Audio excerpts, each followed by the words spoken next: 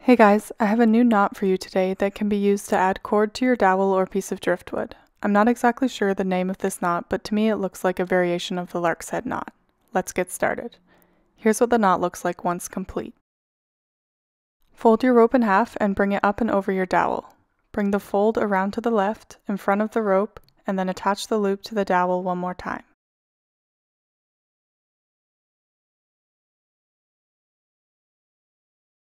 Untwist the rope that is hanging from the dowel.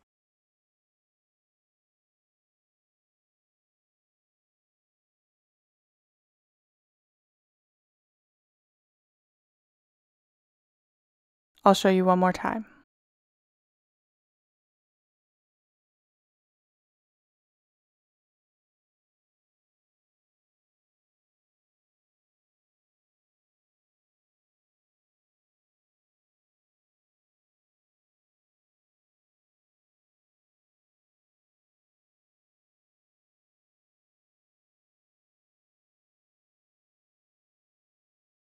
Thanks so much for watching.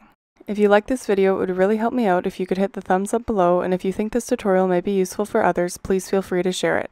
I love to see your work, but sometimes I can miss it, so please tag me on Instagram or Facebook if you've used one of my tutorials or if you're using some of my supplies so I can see your work. Don't forget to subscribe for weekly video tutorials. Thank you!